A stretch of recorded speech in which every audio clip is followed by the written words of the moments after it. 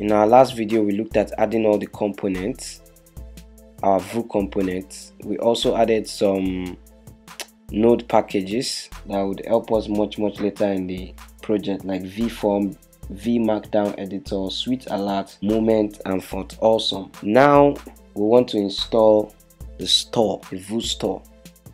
Let's go to the website and see what the website has in store for us. So this is the website and this is the command to install the store. So I'll do that right away. Alright that is done. And just like we did for the Vue router we'll do the same thing for the store now. So I'll add a new file here called store.js on the store there are things like uh, states the getters the actions the mutations and a whole lot of stuff in the store. First of all the most important thing to do is to import Vue from Vue obviously. And import the store now from from books okay. And Vue use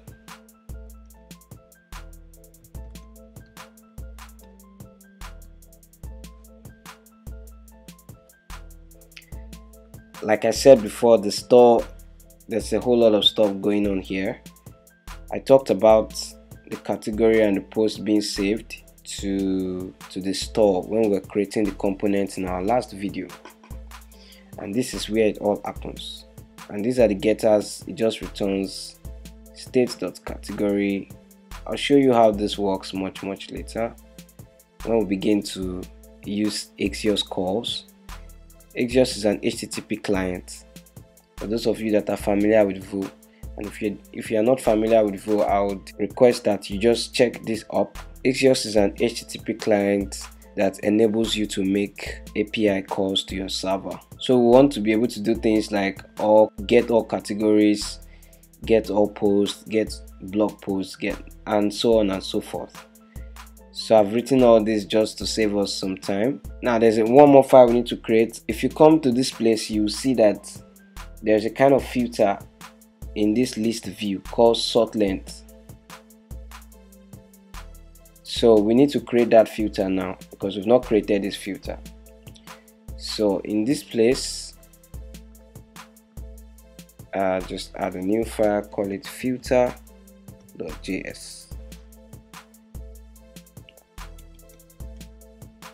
moment. From moment since we have moment already.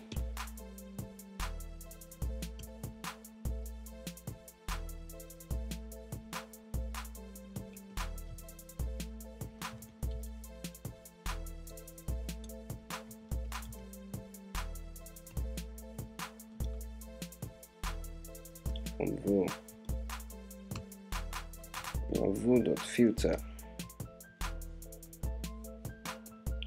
leverage on the Vue filter. This time around extend it to create our own time format. And yeah look at look at what it says here.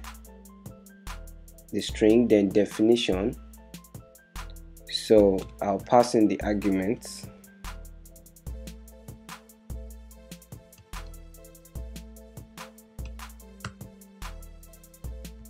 and this will return it's just going to return a moment time.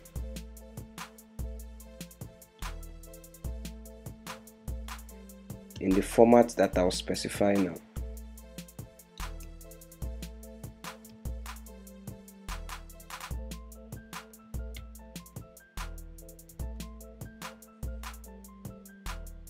Okay.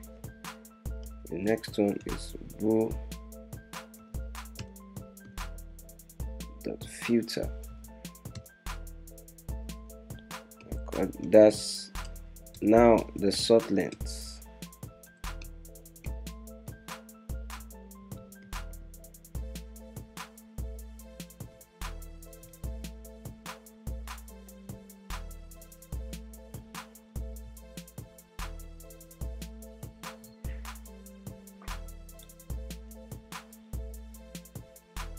Okay since that is created the most important part entering into the project is the app app.js now let's go and look at how we're going to run this project now and see how this project looks like.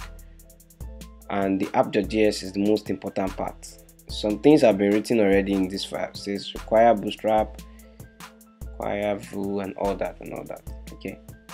Um i'll just delete all these ones for now because we don't need them what i need to do is to import. First of all i'll just import font awesome which we have already installed. The next one markdown.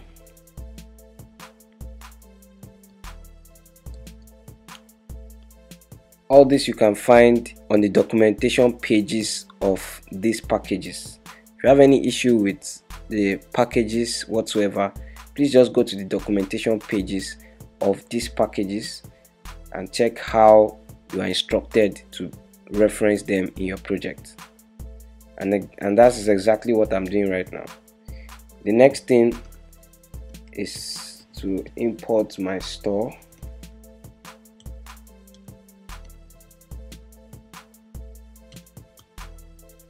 This is directly inside the project so I can just do this already visual code is giving me suggestions which is absolutely brilliant.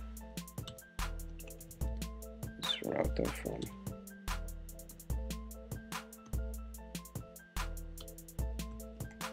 Routes okay.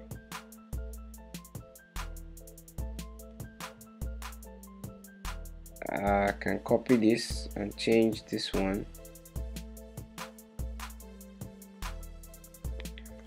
in my own case I have admin main requires this dot admin.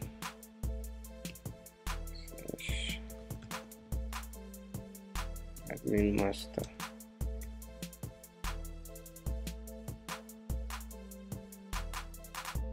Just want to be sure about that. Add components admin admin master. Okay that's correct add one more let's call this home. Home. And this is the public folder. This is public master. Okay. So I have a few of them here. Um, from the vform from the sweet alert and from the toast as well. The next thing is to inject the store and the router into the app which I'll just do here. Store and the router. Okay. And obviously uh, let's be sure that we are injecting into the right thing which is app so where we should check is the admin master and on the admin master this is where we are injecting it to. So our id is root okay? Because this is what wraps up the whole thing. Our id is root. So i'll do that put that root now in this place okay and with this i think we should be ready to go. So first of all let's run npm run watch and see what that gives us. Hopefully there's no error and if there's error we'll just try to fix them right now.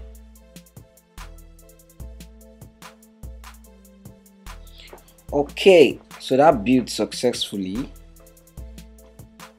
All right so let's try to just run this project and uh, we'll see if there's also a problem from our server as well.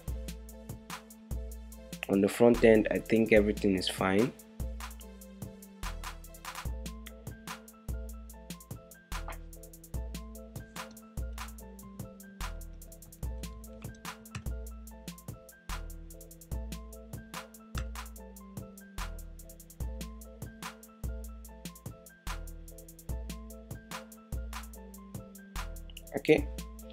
so this is our website and let's move to the back end.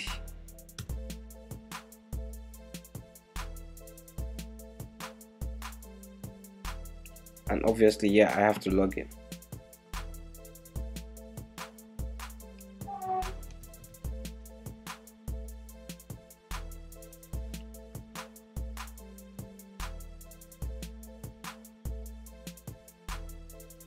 As you can see I'm getting to the back end now because everything is fine. And this is the category. These are the posts. You can see that there's nothing on this table now because the calls I made there are no routes yet. So take a look at the routes for the server. You can see we just have three which is the home the backend the other routes to the controller that should perform the action of getting the post and getting the categories have not been done yet. So in our next video that's what we will focus on. We'll focus on getting the routes to work and for us to see the posts and categories on the back end. A quick recap on what we just did in this video. We've installed the store the Vue store. We extended Vue filter to create our filter to help us format the date time with the help of moment.js package which we already installed before now. And that's it for this video. See you in the next